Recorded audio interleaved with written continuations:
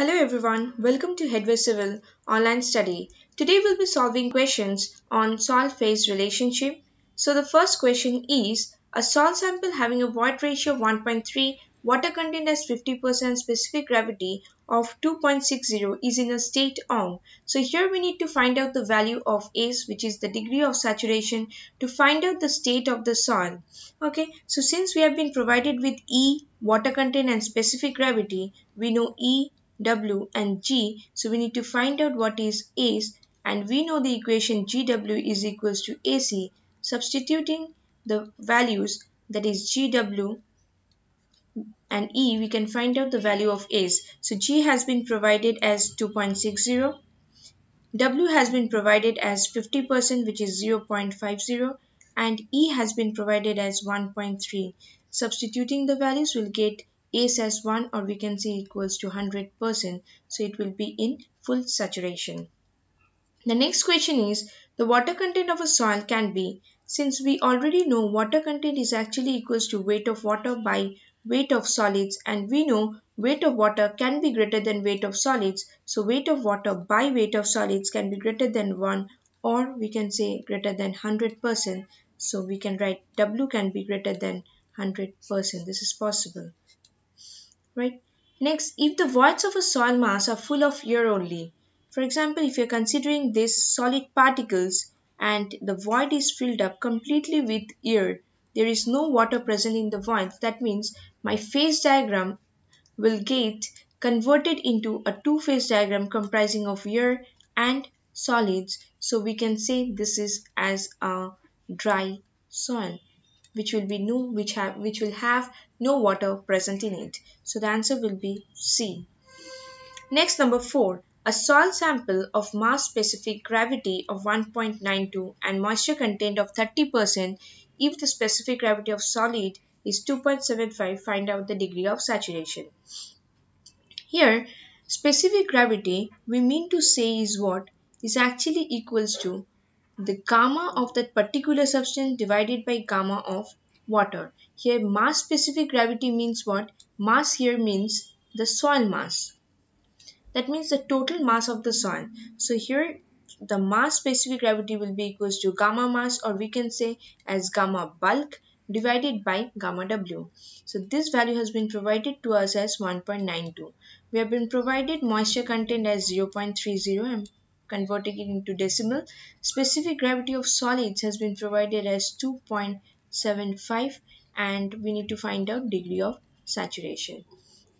Fine. So we know that gamma bulk or gamma mass is equals to G plus SE by 1 plus E into gamma W. Since here we have not been provided with the value of E and AC is also not known, so Another equation we have GW is equals to SE. So we'll substitute the value of GW in place of SE. So we can write G as common 1 plus W by 1 plus E into gamma W. So this is my gamma bulk. So I'm bringing this gamma W below this gamma bulk which will come out to be equals to gamma bulk by gamma W is equals to G into 1 plus W by 1 plus E. So gamma bulk by gamma W, this is this value which is 1.92 which has already been provided. G here means the G solids which is 2.75.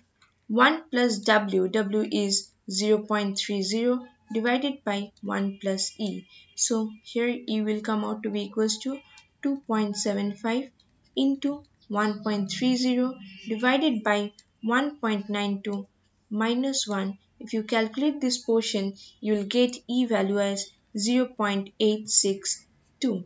Now since we already got the E value, now we can use this equation GW is equals to SE to find out the value of S. So G has been provided.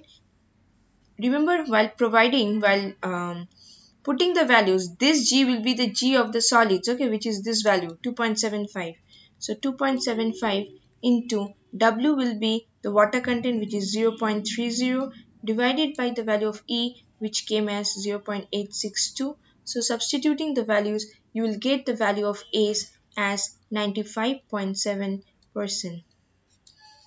So the answer will be D. Next moving on to the question The water content of a soil is defined as the ratio since water content we already know is equals to weight of water divided by weight of solids. So the answer will be D, which is weight of water to weight of solids of a given soil mass, right? The next question is, a soil has a bulk density. Bulk density means gamma bulk, which is equals to 1.80 gram per cc Water content has been provided as 50%, I'm writing it in decimal 0.05 and void ratio has been told as constant. Okay, let this be the first case. In the second case, the bulk density for a water content of 10% we need to determine. So we need to determine the bulk density. So water content has been provided as 0.10. E is also same. Let this be the second case. Okay, from the first case, since we know one equation, gamma d is equals to gamma by 1 plus w, first determine this portion. What is gamma? It's 1.80 and what is 1 plus 0.05? If you substitute this value, you'll find out uh, you'll find out the value of gamma d as coming as 1.71 gram per cc. Since we already have this gamma d, substitute this gamma d portion in the next equation. So we'll again use this equation itself, but here we'll write, here we'll find out what is gamma. So gamma we can write as gamma d into 1 plus w. So gamma d which we already got it from the first equation that is 1.71 into 1 plus w. w is something which we got which we'll be using from the second equation which is 0. 0.10 and this will come out to be equals to 1.88 gram per cc. So my answer will be option B which is 1.88 gram per cc. Next. The next question is a soil sample has a mass specific gravity. So the same way which we did one sum earlier this has got a mass specific gravity as 1.92 which is equals to gamma bulk divided by gamma water. Okay, next we have been provided moisture content as 30% which is 0.30. Specific gravity of solids provided as 2.75 and we need to find out E value. Okay, whenever you get such equation where E and S both are not being provided, always remember we'll use this equation that G into 1 plus W by 1 plus E into gamma W.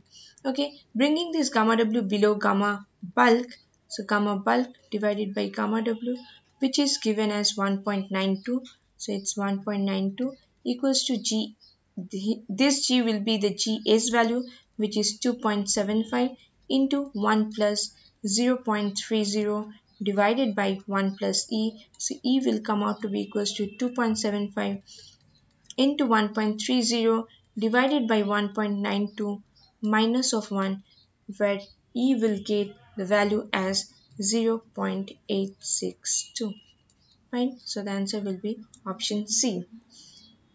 Next question tells an unsaturated 100 centimeter cube sample that means we have been given the volume of soil sample as 100 cc. Soil weighs 190 gram that means the weight of the soil let it be the capital W has been provided as 190 gram.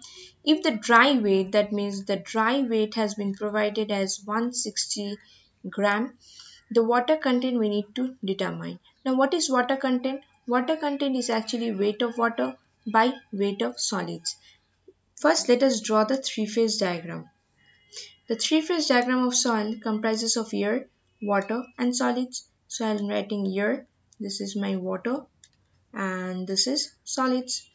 So here let us represent it in terms of volume. So we'll get the total volume as 100 cc which is already being provided and air, water and solids has been provided. So weight of air has been provided, uh, sorry, weight of air is 0. So weight of air is 0. We don't have any weight. The total weight will comprise of weight of solids and water which has been provided as 190 grams. So this portion is 190 gram the weight of dry weight means what? There will be no water weight. This is actually the weight of solids that has been provided, right? So weight of solids has been provided as equals to 160 gram. So we need to find out the weight of water. So weight of water will be this portion. So 190 minus 160, right? So weight of water will be equals to 190 gram minus of 160 gram which will come out to be 30 grams. Now water content will get will get as weight of water we already know that is 30 divided by weight of solids we already know the weight of solids as 160 right?